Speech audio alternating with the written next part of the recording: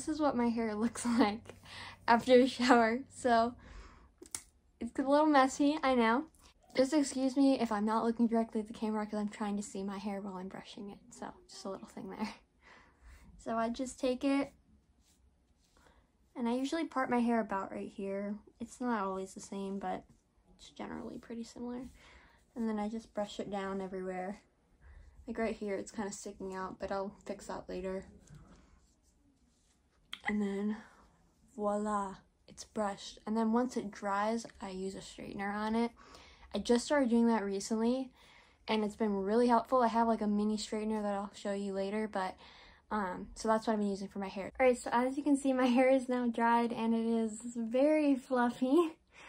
So what I like to do is just take my little straightener and I just kind of try and straighten it to get it to go down.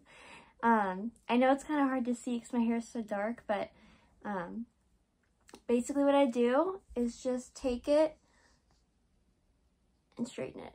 It's as easy as that. And like little parts like this are kind of a pain, but you just have to kind of go over them like that and hope that they stay somewhere nice.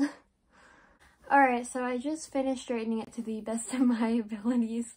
Um, it definitely isn't perfect, but it's the best I can do.